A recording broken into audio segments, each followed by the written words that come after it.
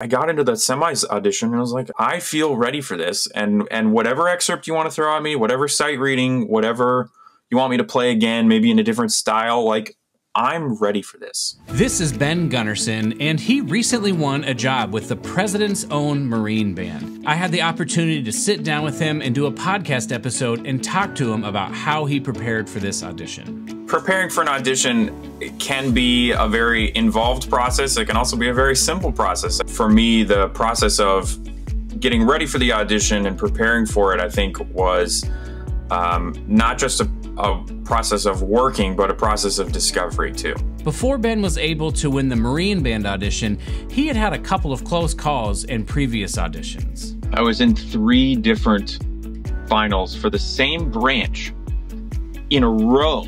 I went three times in a row to this same military band, made it to the finals all three times, and did not make it did not get selected on any of those three tries. The process of auditioning is grueling in its own right, but making finals three times in the same ensemble and not winning, that's gotta be really tough. You know, you get to the end of the third one, it's like, oh my gosh, you know, the, the pressure starts to mount up, the, the mental pressure on yourself to be like, all right, what did you do wrong? So, how has Ben able to deal with the pain of getting so close and not winning, as well as deal and manage the stress that may come in future auditions? When we're talking about especially things like performance anxiety or, or being able to perform under pressure, there's a lot of discussion about self talk. And when I was exposed to this idea of monitoring your self talk and, and making things more positive and making your self talk into something that's going to be a little bit more productive, I had a lot to learn. I realized that there were a lot of things that I was saying to myself, like, oh,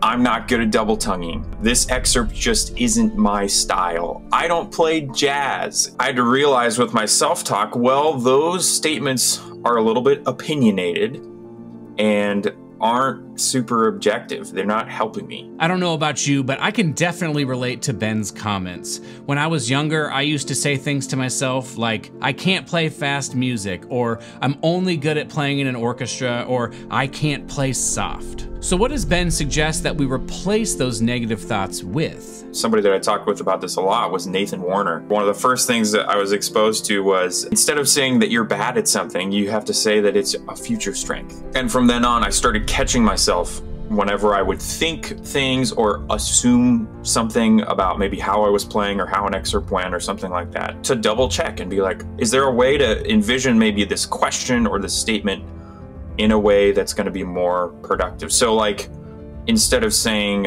I'm just not a great double tonguer, I would say instead, double tonguing in the past has been something that I struggled with. Double tonguing is something that I can improve a lot more on. For me, one big takeaway from Ben's story is the necessity of reframing negative thoughts into more positive ones. Not only so we feel better, but that we actually work with the confidence and the hope that some of these struggles that we are going to experience, we can overcome eventually. Diving more into the nitty gritty of everyday audition prep, Ben had some interesting thoughts on how he kept track of the progress that he was making. I think there are so many ways to improve. This is what worked for me and, and what I've learned has worked for a lot of people. I made sure that I took uh, really specific notes on the stuff that I was doing. And I know that it's like, oh, well, duh. But for those of you out there that have never tried, keeping an audition journal um, and keeping uh, notes over what your excerpts are doing and, and day to day, you know, recording yourself every day and listening to it. The more people you listen to, they will all say that. Uh, and it's not a coincidence. And as somebody that didn't used to do that, now I know. It really does make a difference. This approach that Ben outlined might sound pretty basic, but you'd be surprised how effective it is to just take notes regularly on the recordings that you're regularly making for yourself. So you might ask yourself, why is it so effective to prepare this way? Well, the reality is is no matter how good you think you are at listening to your sound while you're playing, there's just no better way to get feedback on your actual efforts, what you actually sound like than recording yourself. Then, when you take that accurate feedback from your recordings and you begin to make notes on what things you need to improve upon, you're giving yourself the best chance to solve the problems that you're actually experiencing. Besides, if you're trying to listen to yourself and figure out what problems you're having while you're playing, you're likely not putting yourself into the kind of headspace you need to be in for high level performance. As I was working on all of these excerpts, I think there were, oh gosh, maybe 20 or so for this, this Marine Band audition. I made sure to keep track of what was going on for each one. For this most recent audition, I ended up just using a good old little spiral notebook here. I kept track of each excerpt I, I, wouldn't say it was day to day, but it was like lesson to lesson or recording to recording. I would make sure, I, mean, I was getting a lot of lessons on all of this stuff and getting some great feedback. And I was also doing a lot of mock auditions.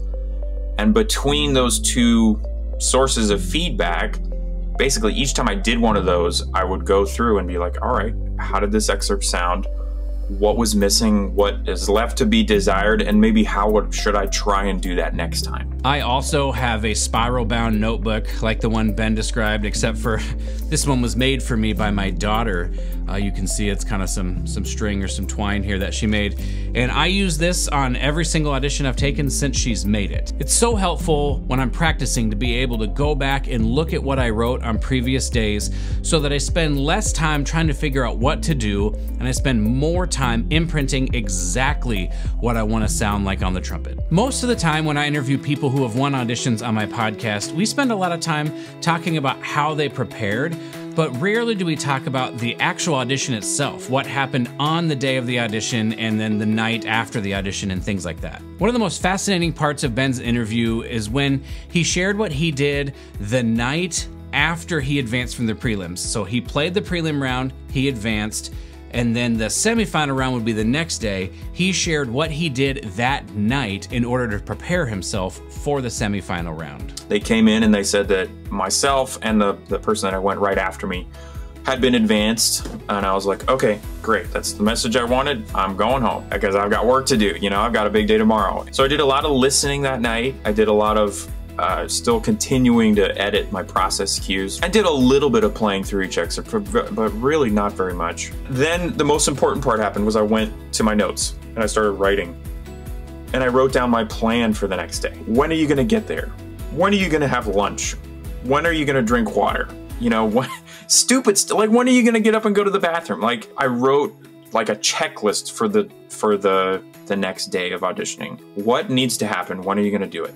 I personally have had uh, varying amounts of confidence on the auditions that I've taken over time. When I was younger and I was on the circuit, I seemed to have a lot of confidence in my ability to advance and to win an audition, but lately these days I seem to have a lot less confidence that even though I feel very prepared, I don't feel as confident that I'm gonna walk in there and wow everybody or whatever you have to do to advance and win an audition. Let's listen to what Ben's mindset was the night before his semifinal round. I had already decided in my brain, I'm gonna win this audition.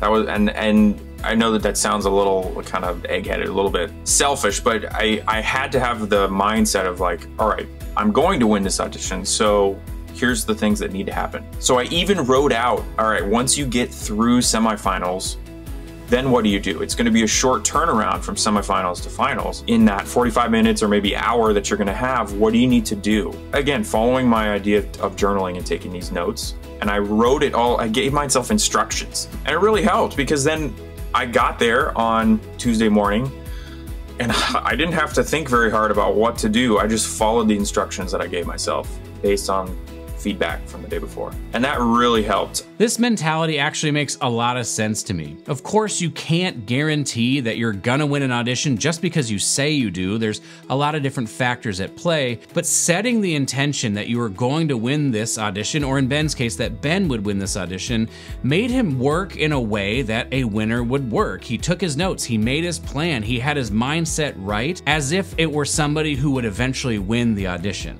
As he's sharing the story, you can hear that he did everything he could think of to prepare himself for the next round. Well, almost everything. I had had had a phone call that night, the night before the semis and finals, with my fiance, and I had said, "All right, here's how the day went. It was pretty good. You know, I, I felt my heart rate get a little funky in the the first round, and, and I I'm just hoping that it goes well today. And she told me, oh, just use this breathing thing that I that I know. And somehow I had never heard of it. I'd done a lot of breathing stuff, but I had never heard of this breathing technique. And she said, oh, you just do that. Just try it. And I tried it for like five seconds on the phone call with her. And instantly my heart rate went from crazy to 60.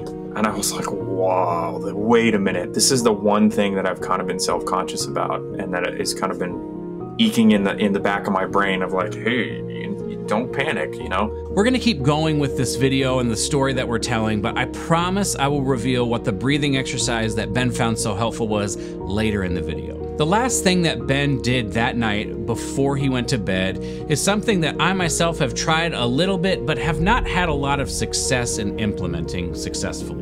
The last thing I did that night was affirmations. I had never been a believer in that and and it was like, okay, you know, there's probably people that that work for. I don't really need to try it. I don't need to whatever. And I was like, well, again, is it going to hurt me to try this? No. And if it doesn't work, is it something that will help me learn for next time? Yes. So let's just try it. Let's do some affirmations. I wrote, I am a winner. I have what it takes and I will win. And I just wrote it a bunch of times in a row and I felt really stupid writing it down the first like three or four or six lines. But by the time I got to the end of the page, I was like, dang it, I am a winner. I can do this. Like it, it, was so weird. I like got goosebumps by the time I got to the end of the page. I was like, heck yeah, let's let's go kick ass tomorrow. Um, and it was like, okay, I guess this is working. Whatever it is, I'm feeling pretty great right now. So let's let's go to bed and get it figured out, and and do tomorrow. And that was kind of the last thing I did. After advancing out of prelims, instead of going out and partying or whatever, Ben went home and he listened a little bit and he practiced, but not too much. And then he wrote in his journal the things that he wanted to do the next day and made his plan. He got some great advice from his fiance about how to manage his heart rate, and he did some affirmations to get himself in a winning mindset before he went to bed. So, how was Ben feeling when he got to the semifinal round? When I figured out how to breathe well and I had written out my whole day and I had done a lot of work to figure out how to get in the mental right space and stay focused, it was like I got into the semis audition and I was like, I feel ready for this. And and whatever excerpt you want to throw at me, whatever sight reading, whatever you want me to play again, maybe in a different style, like I'm ready for this. You've known from the beginning of this video how this audition turned out for him, that he indeed won, and hopefully you can hear through his story that him winning this audition was no accident. Each audition that he had taken up to this point taught him something, and he added all of those lessons together to be able to put together a winning package for this audition. Tackling and finding solutions for all of the issues that you end up facing, you start running out of reasons to fail.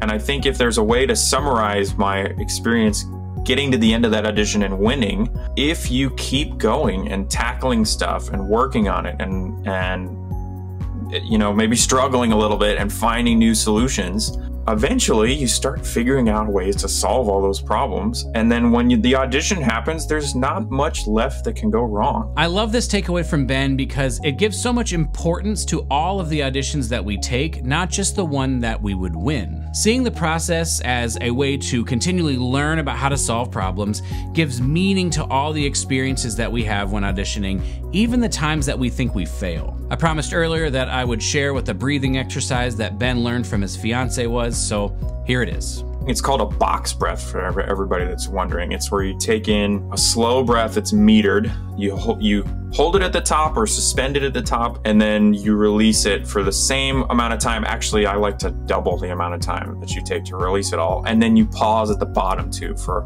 let's say it's three counts in, three counts suspend, six counts out, three counts at the bottom. And then you just do that cycle maybe two or three times. I actually tried this when I performed with Malice Toward None with the Alabama Symphony Orchestra recently. I was a little bit nervous. I had some pent up energy. I wanted to do a good job. And so the piece that was before mine, before I went on, I just stood backstage and I did this box breathing. I breathed in for three counts, held it for three counts, breathed out for six counts, kind of held myself at empty for three counts, and honestly, it worked exactly as well as Ben described it did. With all this information from Ben, we now have a blueprint for how to develop healthy and positive self talk, how to refine and get the excerpts going so that they're ready to be performed, and then also how to make a plan at the audition itself to set yourself up for success. But what if you're new to auditions and you don't know what the excerpt should sound like or how to play in the right style? If that describes you, you need to click on the video on the screen right now.